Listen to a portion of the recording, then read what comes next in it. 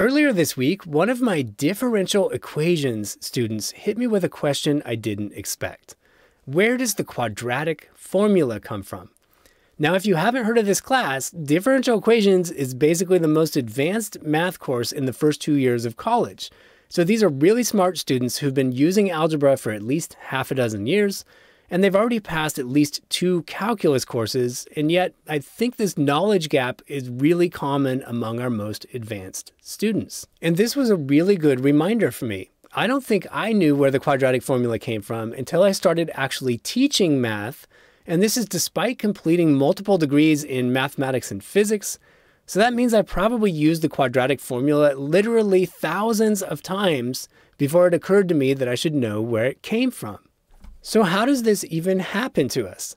My guess is that I never even saw the derivation of the quadratic formula in high school math, or if I did see it, I simply wasn't ready to care about understanding mathematics at a deeper level yet.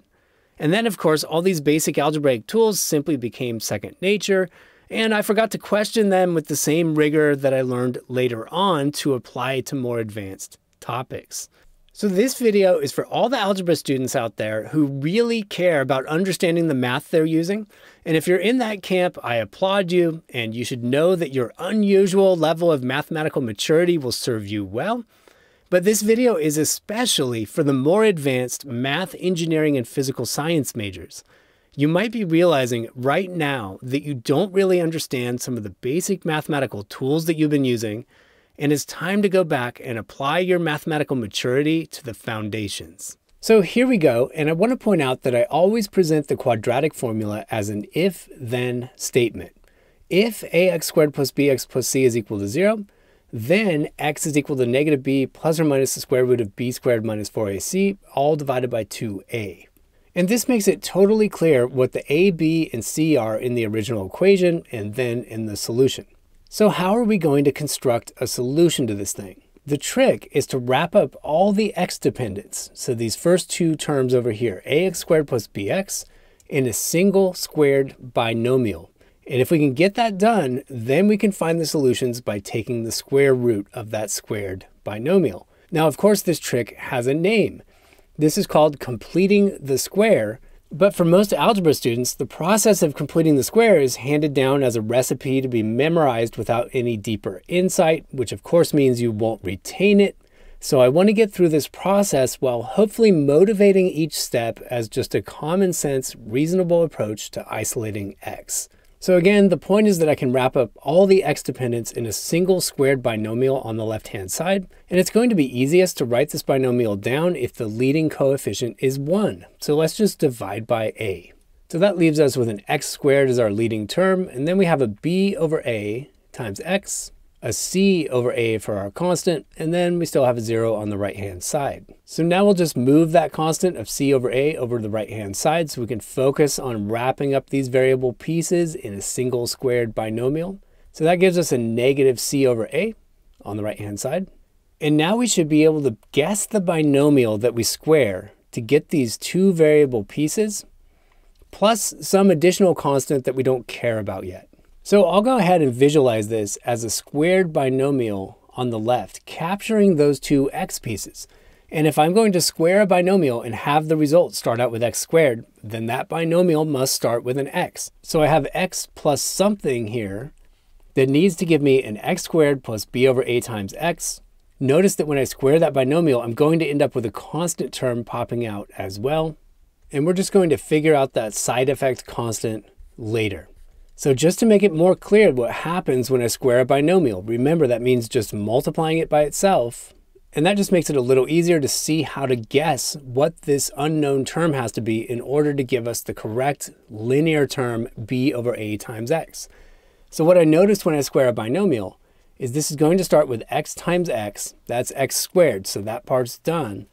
And then I get two times the cross term. So I just put a question mark in there. So x times question mark plus another x times question mark. So if you get two times the cross term there, we're going to get the correct linear term if we take half of this coefficient b over a. So I have a b over 2a in each copy of this squared binomial. So now look what happens when we square this binomial. I get x squared I get x times b over 2a and another x times b over 2a, which gives me b over a times x. And now I can see what the side effect is of wrapping up all my variable pieces in a squared binomial. There's a constant b over 2a multiplied by another b over 2a, and that gives me b squared over 4a squared. So by writing the left-hand side in this form, I've implicitly added b squared over 4a squared to the left-hand side, and that means I have to do the same thing to the right-hand side. Now, if you're comfortable showing all those steps without expanding the squared binomial into two terms, that's fine. I was just trying to make it a little easier to see. What we have on the left-hand side now is x plus b over 2a all squared. And on the right-hand side, I'm going to go ahead and combine these two fractions now. So I need a common denominator of 4a squared, which means I'm going to multiply this first fraction by 4a divided by 4a.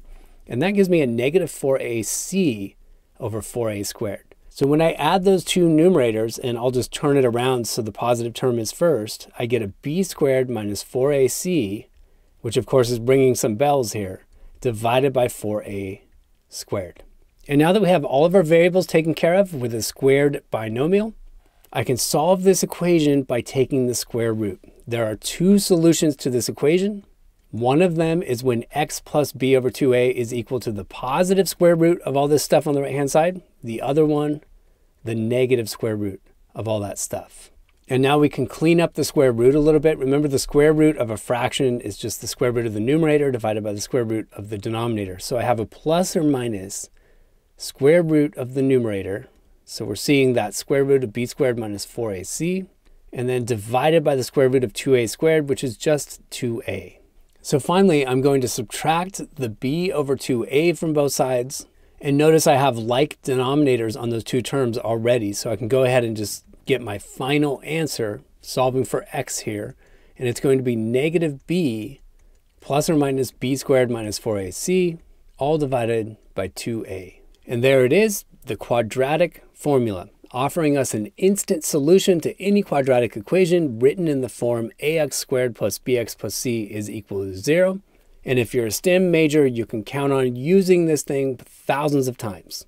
And of course, we're not going to just stop with the quadratic formula. I encourage all of you to feed your inner skeptic every chance you get, question everything, and try to root out these old gaps in your knowledge. And when you do find a gap like this, make the effort to shore it up with your own derivation if you can. And it's totally fine to just look it up if you can't figure out the derivation. So if you've been majoring in a math-rich subject for a couple years, you already have the mathematical maturity that it takes to revise your understanding of these older topics, and that process is going to make you stronger and more adaptable in your subject.